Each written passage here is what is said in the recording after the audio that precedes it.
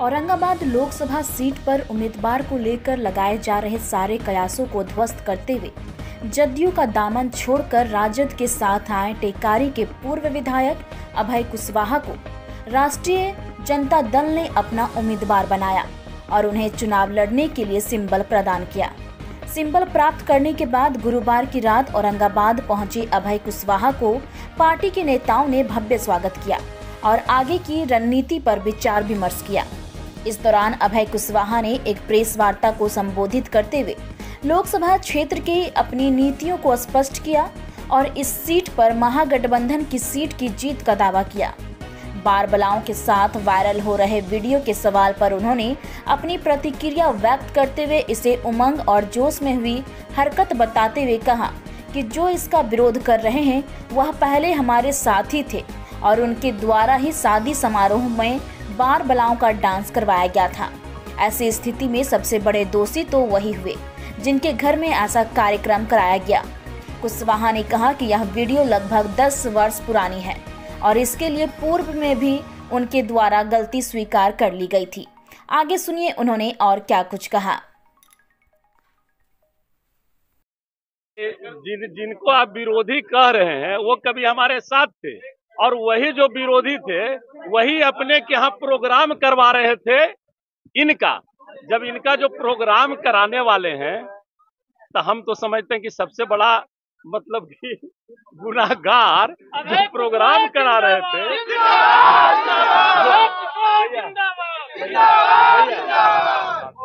सबसे बड़ा गुनाहगार तो वो जो प्रोग्राम कराने वाले थे वही होंगे। अब अब अब हमको कहीं पटना जाना है।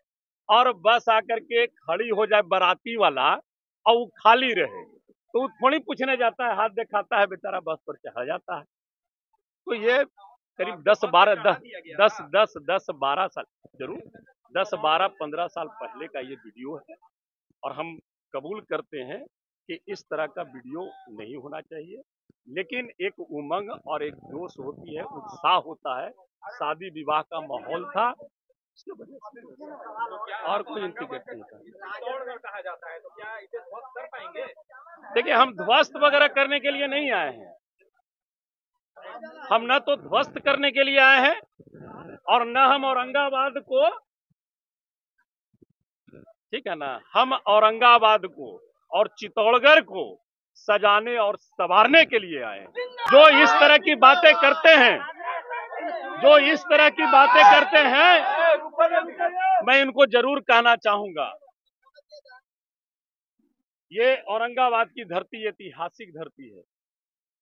यहाँ से बिहार को मुख्यमंत्री भी मिला है। ऐतिहासिक धरती है ये। इसको तो उस रूप में होना चाहिए था, जिस रूप में यहाँ के जनप्रतिनिधि जो अभी भाई साहब सवाल कर रहे थे कि अभी तक राजद और महागठबंधन के कोई यहाँ से चुनाव नहीं जीते हैं। ये सारी ये सारी गलती जो अभी तक अभी अभी अभी तक भैया जो अभी तक यहाँ से जनप्रतिनिधि जीतते आए हैं ये उनकी नाकामी का प्रतिफल है। हम तो कह रहे हैं कि हम विकास करेंगे युवाओं के रोज़गार के लिए किसान के हित के लिए। छात्रों के लिए। हम लोग काम करेंगे महिलाओं के उत्थान के लिए।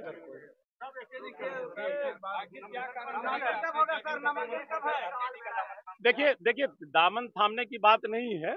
ये मेरा पुराना घर था। और जब हम दामन छोड़ रहे हैं तो लोग बोल रहे हैं, छोड़ दिए। यहाँ तो बड़े बड़े छोड़ के जाते हैं। तो बड़े बड़े लोग जाते हैं। और इस लोकसभा के क्षेत्र क्षेत्र का क्षेत्र का मैं प्रतिनिधित्व कर चुका हूँ टेकारी विधानसभा का पाँच वर्षों तक।